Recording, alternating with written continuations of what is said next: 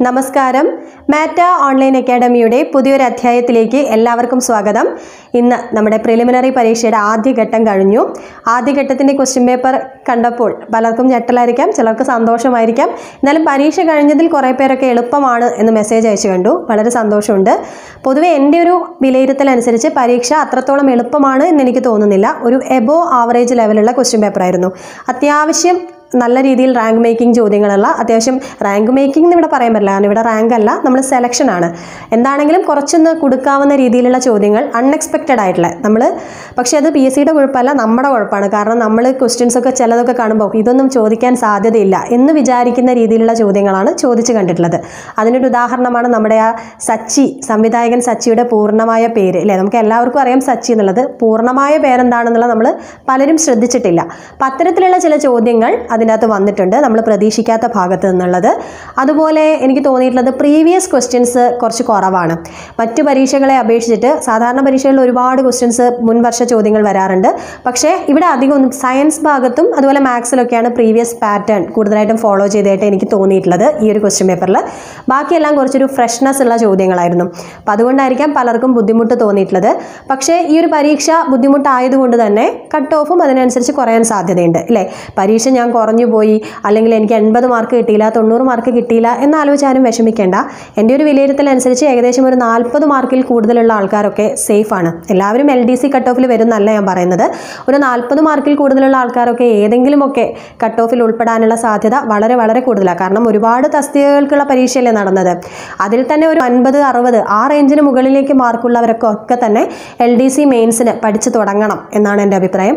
അല്ലാത്തവർ പഠിക്കേണ്ട എന്നല്ല പ്ലസ് ടു ലെവൽ പ്രിലിംസ് വരുന്നുണ്ട്. അതുപോലെ മറ്റ് തസ്തികകൾക്കുള്ള പ്രിപ്പറേഷൻസ് ഒക്കെ ആരംഭിക്കാം. എന്താണെങ്കിലും ഒരു കോമൺ ആയിട്ടുള്ള കാര്യങ്ങളല്ലേ പഠിക്കാനുള്ളത്? അതൊക്കെ പഠിച്ചു തുടങ്ങുക ഓക്കെ അത്യാവശ്യം കുറേ ചോദ്യങ്ങളൊക്കെ നമ്മൾ ക്ലാസ് ഇട്ടതിൽ നിന്ന് വന്നു എന്ന് കണ്ടതിൽ സന്തോഷമുണ്ട്. പക്ഷേ കുറേ ചോദ്യങ്ങളൊക്കെ കറണ്ട് അഫയേഴ്സ് ഒക്കെ ഞാൻ പറഞ്ഞ പോലെ അൺഎക്സ്പെക്റ്റഡ് ആയിട്ടുള്ള ചോദ്യങ്ങളായിരുന്നു.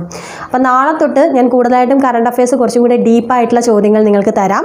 അതേപോലെ നമ്മൾ എന്താ പറയുക മുൻവർഷ ചോദ്യങ്ങൾ നമ്മൾ കുറേയൊക്കെ പഠിച്ചു കഴിഞ്ഞു. ഇനി മുൻവർഷ ചോദ്യങ്ങളല്ലാതെ റയർ ആയിട്ടുള്ള ചോദ്യങ്ങൾ. ഓരോ ടോപ്പിക്കിലെയും കുറച്ച് റയർ ഫാറ്റ്സ് എന്ന രീതിയിലുള്ള കുറച്ച് ചോദ്യങ്ങൾ അടങ്ങിയ റിവിഷൻ ടെസ്റ്റുകളും തരുന്നതായിരിക്കും. അതേപോലെ എസ് സി ആർ ടി എത്രയും വേഗം ഞാൻ കംപ്ലീറ്റ് ചെയ്തുതരാം. എസ് സി ആർ ടി എട്ട് ഒമ്പത് പത്തിലെ സിലബസ് റിലേറ്റഡ് ആയിട്ടുള്ള സിലബസിന് പുറത്ത് നിന്ന് അധികം ചോദ്യങ്ങൾ വന്നു എന്ന് എനിക്ക് തോന്നുന്നില്ല. എല്ലാം സിലബസുമായിട്ട് എവിടെയൊക്കെയോ റിലേറ്റഡ് ആയിട്ടുള്ള കാര്യങ്ങൾ അല്ലാതെ പ്രാചീന ഇന്ത്യയോ അങ്ങനെയുള്ള കാര്യങ്ങളൊന്നും അധികം ചോദിച്ചിട്ടില്ല. അപ്പോൾ സിലബസ് റിലേറ്റഡ് ആയിട്ടുള്ള എസ് സി ആർ ടി പാഠങ്ങളും പാഠഭാഗങ്ങൾ എത്രയും വേഗം ഞാൻ ചെയ്തു തരാം. അതേപോലെ തന്നെ നമ്മൾ എന്താ പറയുക ബാക്കിയുള്ള ക്ലാസ്സസ് ഒക്കെ ഇടും. അപ്പോൾ ഇന്ന് പരീക്ഷ കഴിഞ്ഞവരും ആ ക്ലാസ്സസ് ഒക്കെ കാണുക. അടുത്ത പരീക്ഷയ്ക്ക് വേണ്ടി പ്രിപ്പയർ ചെയ്യാൻ വേണ്ടി ഉപകരിക്കപ്പെടും. ഭരണഘടന കേരളം തുടങ്ങിയ ഭാഗങ്ങളിലൊക്കെ നമ്മൾ പ്രതീക്ഷിച്ച രീതിയിലുള്ള ചോദ്യങ്ങൾ തന്നെയാണ് വന്നിട്ടുള്ളത്. കുറച്ചൊന്ന് കുഴപ്പിച്ചത് കറണ്ട് അഫയേഴ്സ് അതുപോലെ ഇന്ത്യ. ഇന്ത്യ റിലേറ്റഡ് ഭാഗങ്ങളാണ്. പിന്നെ മാത്സ് കമ്പാരിറ്റീവ്ലി എളുപ്പമായിട്ടാണ് എനിക്ക് തോന്നിയത്. സയൻസ് ആണെങ്കിലും വലിയ ബുദ്ധിമുട്ടിച്ചിട്ടില്ല. സയൻസിലും ഒരുപാട് നമ്മൾ എക്സ്പെക്ട് ചെയ്ത ചോദ്യങ്ങളുണ്ടായിരുന്നു അപ്പോൾ അതുകൊണ്ട് തന്നെ ആരും ഒരുപാട് നെഗറ്റീവ് മാർക്സ് ഒന്നും അടുപ്പിച്ചിട്ടുണ്ടാവില്ല എന്ന് വിചാരിക്കുന്നു. എന്താണെങ്കിലും എനിക്ക് പറയാനുള്ളത് ഒരു നാൽപ്പത് മാർക്ക് നാൽപ്പത് മാർക്കിൽ കൂടുതലുള്ള ആൾക്കാരൊക്കെ ഒരുവിധം സേഫ് ആണ്. അവർ അടുത്ത പരീക്ഷയ്ക്ക് വേണ്ടി പഠിച്ചു തുടങ്ങാം. നമുക്ക് കറക്റ്റായിട്ടുള്ള ഒരു കട്ട് ഓഫ് ഒന്നും പ്രവചിക്കാൻ എനിക്കറിയില്ല. കാരണം അങ്ങനെ പ്രവചിക്കുന്നതിൽ ഒരു അർത്ഥമില്ലല്ലോ. ഏകദേശം ആണ് ഞാൻ പറഞ്ഞത്. ഇതിന് മുകളിൽ കിട്ടുന്ന ആൾക്കാരൊക്കെ പഠിച്ചു തുടങ്ങാം. അതിന് താഴെ കിട്ടുന്ന ആൾക്കാരും പഠിക്കാതിരിക്കേണ്ട മറ്റു പരീക്ഷകൾക്ക് വേണ്ടി പഠിക്കുക. അഥവാ ഇതിൽ വന്നിട്ടുണ്ടെങ്കിൽ നിങ്ങൾക്കും എഴുതാവുന്നതല്ലേ? നമ്മൾ ആർക്കും ഇത് പറയാൻ പറ്റില്ല. എങ്കിലും കുറേ പേര് ചോദിച്ചുകൊണ്ട് ഞാൻ പറയുകയാണ് ഏകദേശം അങ്ങനെയുള്ള ആൾക്കാരൊക്കെ സേഫാണ് അറുപതിന് മുകളിൽ കിട്ടിയ ആൾക്കാരൊന്നും ഒന്നും നോക്കണ്ട.